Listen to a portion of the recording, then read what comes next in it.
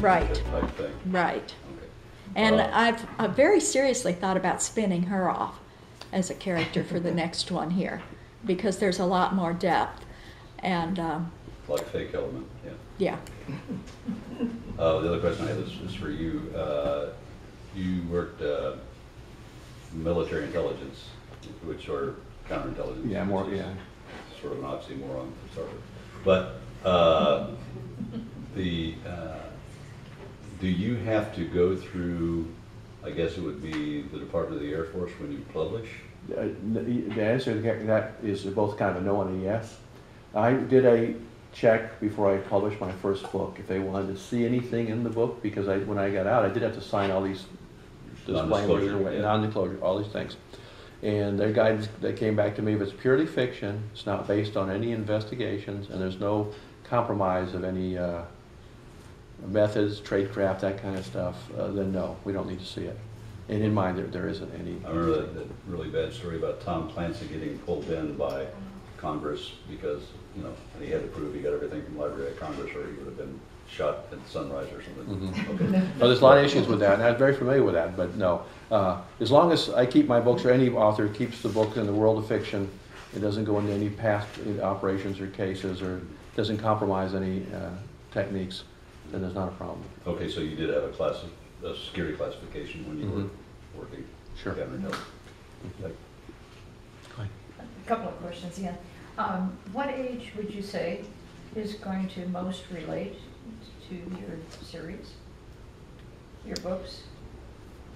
probably the general age of all of us in here. Would young adults um, Um, like, I, I hope so. I mean, that's why I did a, a younger character. I've had some teenagers read it um, and liked the plot, but wish that there were a teenager involved in it. So, and and how about uh. I, I think uh, they appeal to really any age. I think the, uh, well, not any, probably 18 type, 17, 16 and above.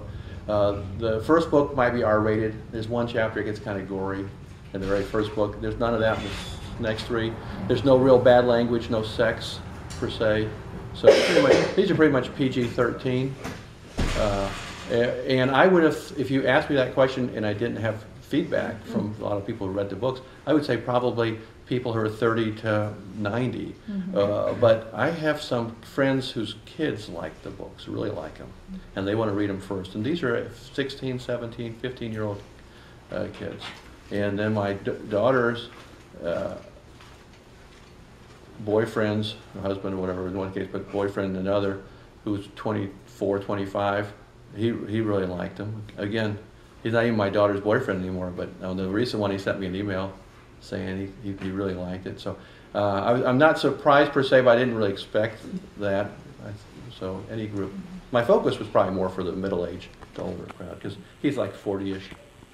And the other question I have is, quite often in dedications, it'll be, I want to thank my writers group. Do you, each of you belong to a writers group, or do you just have your own personal friends that support you? and um, Or do you find that a writers group is a good thing to have for a young writer or new writer? for a new writer, probably so. Yes, I don't belong to one because I've never been. I, we kind of move around. We we have one started here that I belong to, so I guess I do belong to Yes, one, you do don't I? I better rephrase that. Yes. They're waving their arms. and it, it's my first experience, and I'm enjoying it. And it's kind of we've got people in the group that have a lot of experience with writers groups, and then those like me that don't.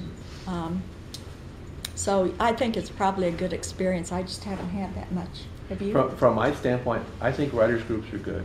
Before I got published, uh, and before I actually stopped working, knowing I was going to stop and, and get involved, I joined the San Antonio Writers Guild, and I was a member there for four years. And one thing they do is they have an annual writing competition, and uh, I, I think I only uh, submitted things like three years, and every time I came in second. So, you know, felt like what Avis, try harder. But still, it was, it was good to be acknowledged because it's you know a million plus people in that city, and it's the real writing guild. They have a couple other organizations, but as far as getting together with authors and all, that's the big one. Uh, but after uh, in, in 2007, I dropped out really for personal reasons than, than anything else. Uh, But I haven't gone, haven't joined them, gone back to them now. And now that I'm writing in in that, I'm, I'm a member of a couple writers, kind of organizations. We're both members of the Military Writers Society. And uh, I'm a member, you remember the Public Safety? And the Public Safety Writers, is a national, national organizations. And, uh, you know, there's a all Mystery Writers of America, I'm a member of this. So, so there's a number of bigger groups that, that may get together once a year on a conference or something like that. But that uh, I've joined. But I think for an aspiring writer, getting involved with a writers group, the one here, the one wherever they can, is really good. They do a lot of self-critique and motivation. I spoke last week to the Harlingens Writers Group, the Valley Byliners, and we did a writing exercise to start out. Mhm. What talent in the group! I was just blown away by the talent. You know that I gave them five minutes to write a story. I gave them a little scenario, and they had to write a story, and a lot of creativity. So I think, yeah, a lot of advantages to it. Yes. Uh, You're both uh, members of the ri- military writers, or were you in the military as well? No. You worked for No, military, it's. I got in, I, I got into it through this Korean War veteran. I started writing about I have a question veterans. about your, your process. Uh, I just finished, or I'm in the process of reading, uh, one of, the- from one of the local au- authors here. And I was reading through his book and it was all, it looked like it was self-published almost. But, uh, I are an English teacher and I kind of ran into six or eight errors in the book. Uh, So I was curious, do do you have, you know, like editors reading your, do you still call them galleys? I don't know. Well, we don't call them galleys. I guess we do Uh, I mean- No, I don't, know. I don't say anything. I mean, it wasn't, it, it was more of a uh, Microsoft Office thing than anything else because they were, Yeah, like the words moth for mouth and, you know, mine are theirs and that kind of stuff that, Yeah. that's, that the computer doesn't recognize. So I don't know, do you have, uh, do you have editors that work with you or for you or, or just wives? You wanna which go are first? probably- I go first. It doesn't Okay. make, it, it, it- it really, it, it's a, it's a good question, because the whole publishing world is going through issues with that and more right now. Uh, Probably only bothers me, I don't know. Does No. anybody else If you're an bother? English- Yes. Oh, Yes. It bothers me. Yeah. I also was a Spanish and. French teacher, so those Yeah. around here, people put, they don't speak any Spanish at all, and then they put these lines, on, I'm like, where is And, it? uh, Why did where you did ask that for some subject help? go? Where's Yeah. the subject, the sentence, and and you Sure. finish, you don't have a sentence. No, it's, it's, it's a good, it's a good, it's a good question. I can read a five hundred page book and they misspell one word and you see it. And it Right. just- Yes, absolutely. No, no, it's a good The question. sad thing is, is as Yeah. soon as electronics came in, newspapers, publishers, everything, the first jobs they eliminated. You're right. That's what I'm saying. proofreaders, It's a real issue out figured the there, at all levels. it, Or Yeah. then you should proofread it yourself. It's a- it- And you a- can tell, look at any newspapers published, say, you know, before, in the early sixties, and then afterwards. can of worms And it's that way. Yeah, Because I was one of those proofreaders they fired.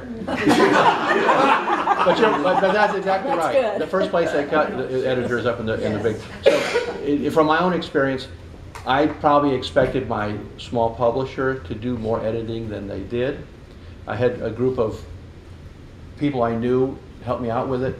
Uh, so I progressed from that, where you'll probably find more errors in my first book than in my, this book. And I'm at the point where I actually have a person I pay now who's an English teacher to go through the book and help me from the standpoint of, I call it line, we call line editing or what, making sure that I have all the commas right and everything.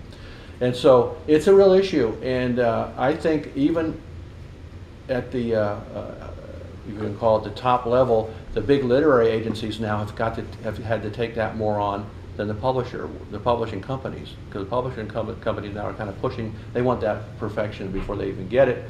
And so uh, literary agencies are pushing it back down on the individual authors. Uh, Obviously, they can't do it to the Stephen Kings and Tom Clancy's and all, but for uh, new people coming in, a lot more of that's being thrust back down at the, at the lower levels. Unfortunately, if if you, if you're the writer and you make an error the first time, you won't see it the second or third That's or right. fourth time That's because it's true. your error. I, uh, You thought it was right to start with. I don't think I've ever read a book that you've not, that I've not found an error in. That's just human nature. But we can do a lot to eliminate it. I am an editor, and I've been an editor since the 80s, so I do a lot of editing too, and I have an editor uh, for that reason. Because you're right, you can read something over and over and over again, and you do not see it.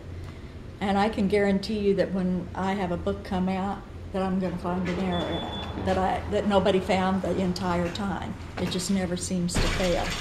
And it, it may be this little comma somewhere that all of a sudden is the glaring part of the book. You know, where was I before? So, so it, does happen.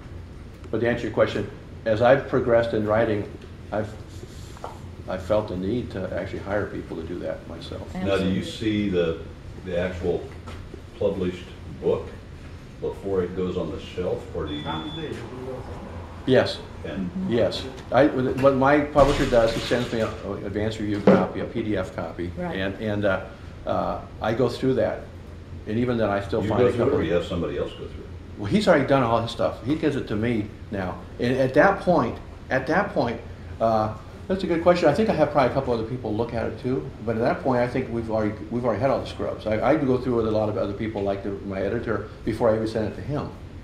And then he'll go through it and come back. And I still find one or two little things that you catch. This is four months after I read it. Five months. I haven't seen the book in five months. He's had it six months, four months, depending on how busy he is.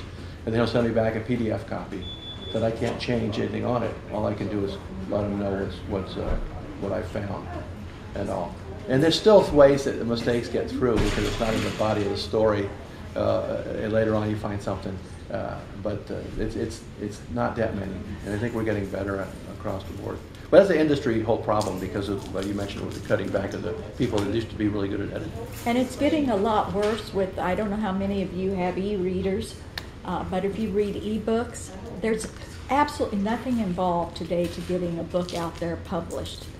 And the mistakes in the books are just legendary. I mean, they're horrible in a lot of the books. So Yeah. there's, there's no filter anymore on, with the internet on getting. Yeah, it's just sort of like, sort of like an eBay system on books now because, uh, you okay?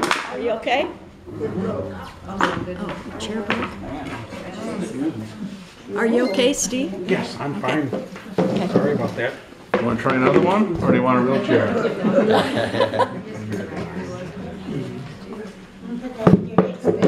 Thank you. Maybe another chair that, uh, take more stress. Well, that's brave to use the same chair. That's not gonna take, There's, yeah, that's He's not got gonna one. take out. It was good. Thank you. This is the cheap on the front one. It means it probably won't take pressure.